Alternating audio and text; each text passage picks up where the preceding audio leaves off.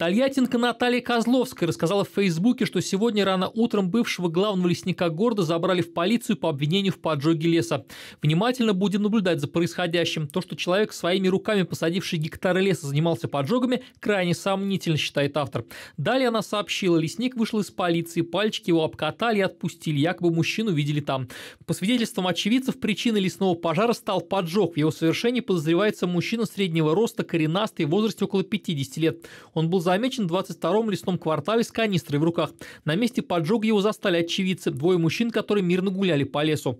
Свидетели предприняли попытку задержать злоумышленника, но тот оказал сопротивление и скрылся. До приезда пожарных они пытались потушить огонь самостоятельно, но справиться своими силами не смогли из-за сильного ветра. Блогер Игорь Кондратьев пишет про Жигулевскую Атлантиду. Поисками загадочной Атлантиды исследователи занимаются уже не одно тысячелетие. Написано много научных работ и литературных произведений.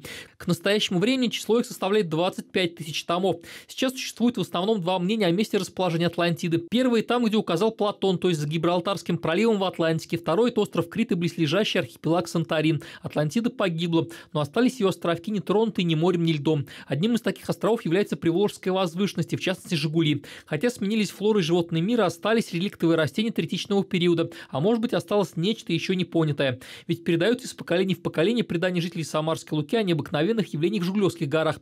И существуют места с магнитными аномалиями. Недаром Жигули привлекают искателей необычного и загадочного.